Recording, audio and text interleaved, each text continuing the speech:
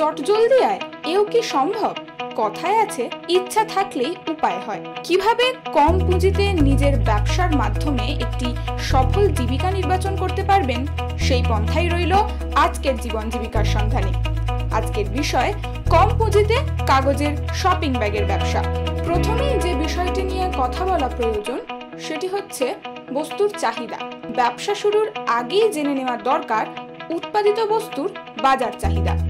সাধারণত দূষণের সাথে মোকাবিলায় বর্তমানে পরিবেশ বান্ধব বা ইকো ফ্রেন্ডলি বস্তুর চাহিদা ব্যাপক। চল্লিশ মাইক্রনের কম পাতলা প্লাস্টিক ক্যারি ব্যাগ একেবারেই নিষিদ্ধ। তাই পাড়ার দোকান হোক বা বড় বড় শপিং মল, সব জায়গাতেই ব্যবহার বেড়েছে কাগজের ব্যাগের সঠিক পন্থার অবলম্বন করলে এই ব্যবসায় মুনাফা মিলবে বেশ ভালো অঙ্কে কাগজের ব্যাগ তৈরি করতে গেলে কয়েকটি সরঞ্জাম অত্যাবশ্যক। সবার প্রথমে দরকার কাগজ।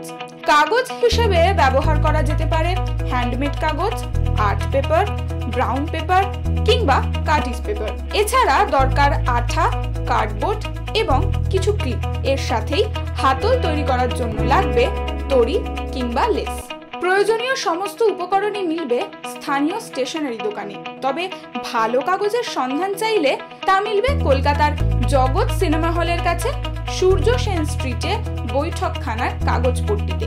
এবার জেনে নেব ব্যাগ তৈরির প্রণালী। কীভাবে বাড়িতে তৈরি করবেন দেখে নেব সেই প্রণালী। বাজারে সব থেকে বেশি চাহিদা রয়েছে বারো বাই আঠেরো ইঞ্চি মাপের ব্যাগের। তবে শপিং মলে সব থেকে বেশি ব্যবহৃত হয় বাইশ বাই আঠাশ ইঞ্চি মাপের ব্যাগ। যে মাপের ব্যাগ তৈরি করবেন, সেই মাপের সাথে আরও এক ইঞ্চি যোগ করে সেই মাপ অনুযায়ী কাগজ কেটে নিতে হবে। এরপর কাগজের চারপাশে আঠা দিয়ে সেটাকে মুড়ে চোঙের মতো একটা আকার দিতে হবে। নিচের অংশটাকে ভাঁজ করে আঠা দিয়ে জুড়ে নিতে হবে। ঠিক এই অংশটার উপরেই আঠার সাহায্যে একটা শক্ত কার্ডবোর্ড জুড়ে দিতে হবে, যাতে জিনিসপত্র রাখতে সুবিধা হয়। মোটামুটি ব্যাগটি আকার পেলে এরপর উপরের দিক থেকে কিছুটা মুড়ে ভাঁজ করে আঠা দিয়ে জুড়ে নিতে হবে। এই অংশে ব্যাগের দুটো ধারেই পাঞ্চিং মেশিনের সাহায্যে সম দূরত্বে দুটো করে ক্লিপ লাগাতে হবে। হাতুড়ির সাহায্যে এই ক্লিপগুলো ভালো মতো সেট করতে হবে। এরপর হাতলের জন্য দড়ি কিংবা লেস দুটো সমান মাপে কেটে নিয়ে পাঞ্চিং হোলের মধ্যে ঢুকিয়ে গিট বেঁধে দিতে হবে। ব্যাস, তৈরি। কাগজের শপিং ব্যাগ এই ব্যবসায় লাভের অঙ্ক ঠিক কতটা? কাগজের মানের ভিত্তিতে এই ব্যাগগুলির দাম হতে পারে এক টাকা থেকে শুরু করে দশ টাকা পর্যন্ত। যদি বরাত বেশি হয়, তাহলে পুঁজির পরিমাণও বাড়াতে হতে পারে আপনাকে। সেক্ষেত্রে হ্যান্ডমেড ব্যাগের পরিবর্তে অটোমেটিক মেশিন ব্যবহার করে তৈরি করতে পারেন এই ব্যাগগুলি। প্রায় বিয়াল্লিশ ইঞ্চি পর্যন্ত ব্যাগ করা সম্ভব এই অটোমেটিক মেশিনগুলোর সাহায্যে। ঘন্টায় দেড়শো থেকে একশো ষাটটি পর্যন্ত ব্যাগ তৈরি করা যাবে এই মেশিনের সাহায্যে।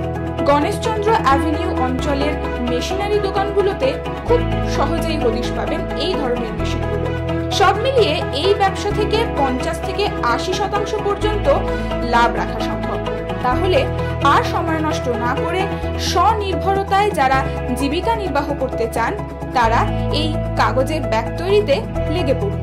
স্বনির্ভরতায় বিশ্বাসীরা নিঃসন্দেহে এবং নিশ্চিন্তে এই কম পুঁজিতে কাগজের ব্যাগ তৈরির ব্যবসায় আসতে পারেন বলে মনে করে বেঙ্গল স্কুপ তাই আজকের এই জীবন জীবিকার খোঁজের পাতায় বেঙ্গল স্কুপ কাগজের ব্যবসার কথা সবিস্তারে তুলে ধরল আপনাদের সাহায্যার্থে